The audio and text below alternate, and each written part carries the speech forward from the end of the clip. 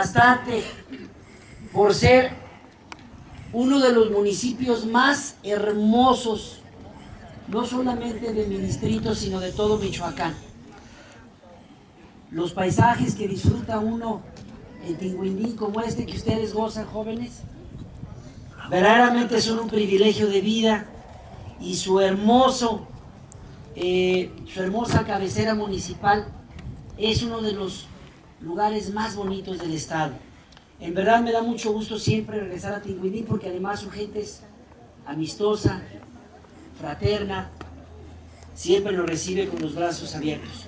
Yo quiero saludar esta tarde al señor síndico y tesorero del Ayuntamiento Constitucional del municipio de Tinguindín, al presidente y secretario del Comité Directivo Municipal de mi partido.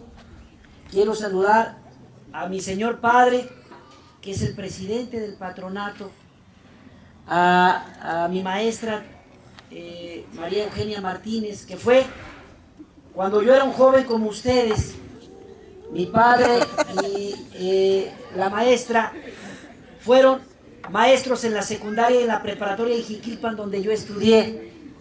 También agradezco mucho la presencia de la señora Silvia Núñez y de eh, mi tía Josefina eh, Valencia Cárdenas, así como de nuestro amigo el regidor del ayuntamiento de Jiquilpa. Miren, cuando me invitaron a participar en la política, me comprometí a que iba a cambiar la imagen que los ciudadanos tienen de los políticos. Una imagen muchas veces deteriorada, desgastada y de poca credibilidad. Por eso me comprometí a que iba a donar el 100% de mi dieta como diputado federal a causas sociales. Un diputado federal gana 75 mil pesos mensuales. Mucho dinero.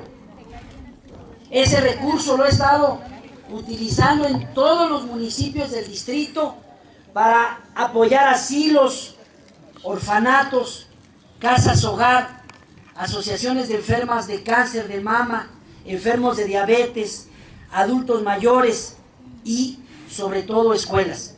Y hoy lo hago con mucho gusto en Tinguindín porque estoy seguro que estas cubetas de pintura van a servir para que ustedes tengan espacios más dignos.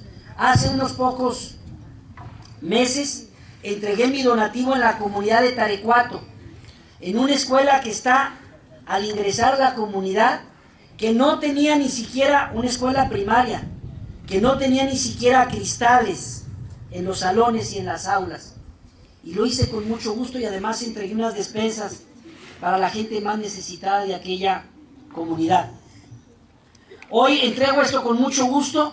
Le tomo la palabra al señor director de esta institución, a quien le agradezco que me abra las puertas de su escuela, así como a la directora de la primaria, a la directora de la secundaria, gracias por su anfitrionía. Te tomo la palabra, amigo director. Te espero el, el próximo martes en la Cámara de Diputados y ahí te voy a sentar con el presidente de la Comisión de Cultura de la Cámara de Diputados y juntos vamos a hacer una gestión para tratar de bajar recursos para tu escuela.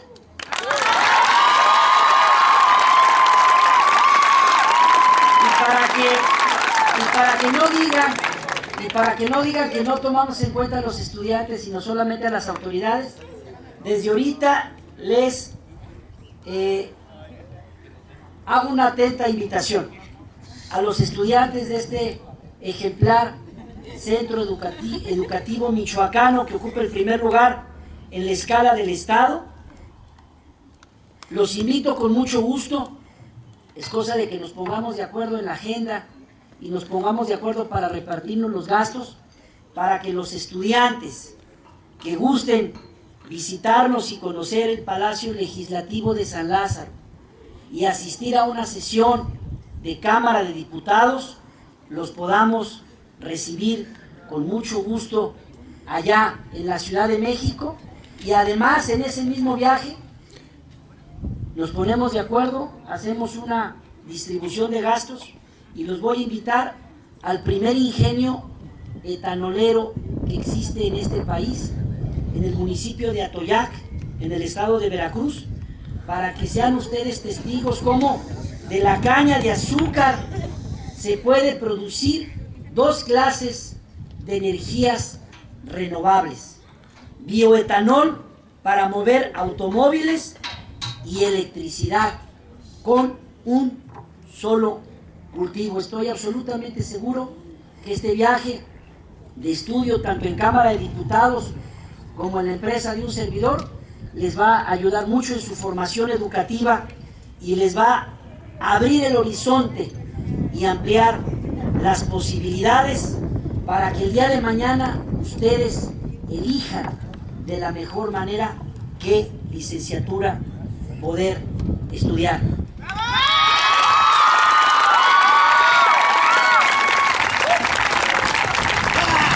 Les los exhorto a que a través del señor director nos pongamos de acuerdo, organicemos uno o dos o tres camiones, los que sean necesarios, que nos repartamos los gastos, padres de familia de ustedes, eh, institución educativa y diputado para hacer ese viaje y ese trayecto a la Ciudad de México.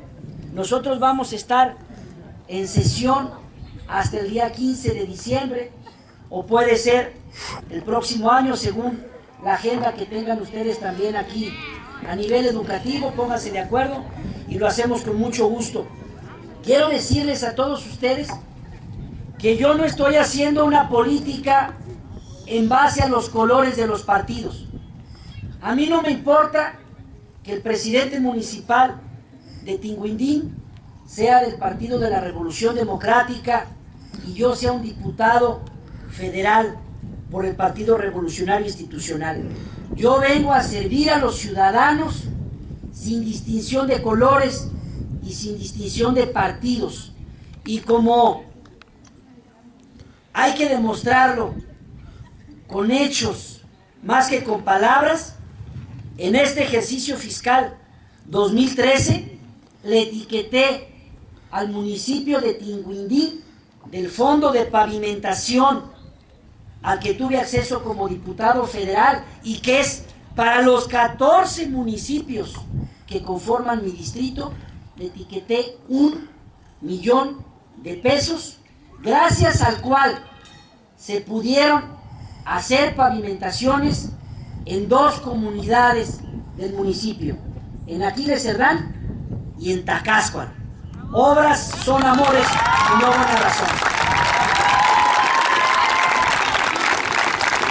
Igualmente, igualmente para este ejercicio fiscal presupuestal del próximo año 2014, le volví a etiquetar al municipio de Tinguindín un millón de pesos que según me comentó el presidente municipal, don Fernando Pulido, se van a utilizar para pavimentar la calle Juárez en la cabecera municipal. De modo que vamos a seguir trabajando y vamos a seguir haciendo equipo en favor del municipio de Tinguindín. Por último, les quiero decir, esta es la tierra de un gran revolucionario. Esta es la tierra del general Francisco J. Mújica, brazo derecho de otro gran revolucionario, mi paisano jiquilpense, don Lázaro Cárdenas del Río. Hago votos porque esta juventud que hoy tiene la oportunidad de prepararse, de estudiar y recibir una educación gratuita y de calidad, el día de mañana nos permita que ustedes se conviertan en mujeres y hombres de bien, de trabajo y de progreso para Michoacán y para México. Muchas gracias.